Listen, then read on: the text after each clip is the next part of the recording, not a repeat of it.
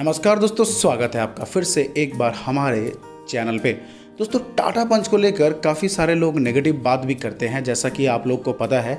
और काफ़ी सारे यूट्यूबर्स जो कि मारुति और हुंडई को प्रमोट करने की कोशिश करते हैं, उनका कहना है कि टाटा पंच अपने पावर को लेकर काफ़ी ज़्यादा लैग करता है। दोस्तों, साठ हज़ार यूज़र हैं आज के डेट में टाटा पंच के पास में।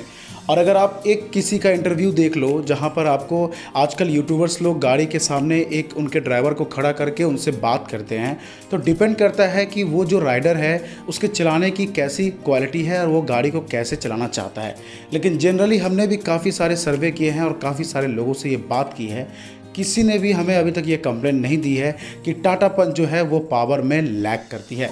दोस्तों पर्सनली मैं खुद टाटा पंच यूज़ करता हूँ और मुझे यूज़ करते हुए आज पाँच महीने हो चुके हैं, लेकिन मैं पर्सनली आपको बता दूँ, टाटा पंच आपको कहीं से भी लैग होता हुआ महसूस नहीं होता है।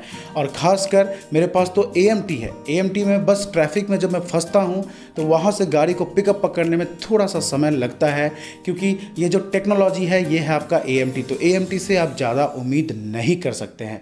यही अगर ये डीसीटी और सीवीटी होती तो मुझे उतना दिक्कत महसूस नहीं होता।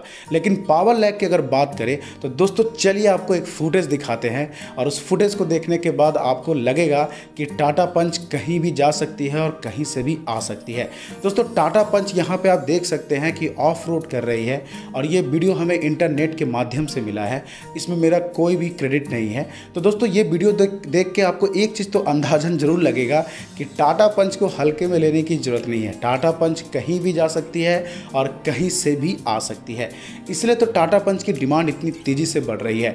आज के डेट में अगर बात करें तो मारुति और हुंडई की गाड़ियों की कमर तोड़ के रख दी है टाटा पंच ने। स्विफ्ट की बात कर ले आप वेगन की बात कर ले, हर कोई को टक्कर देता हुआ नज़र आ रहा है ये माइक्रो एसयूवी।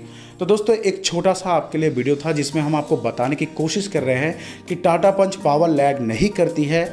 ये डिपेंड करता है कि आप कैसे राइडर हो। अगर आप गाड़ी खींच के चलाने वाले हो तो आपको तो चाहिए कम से कम 2000 सीसी की गाड़ी।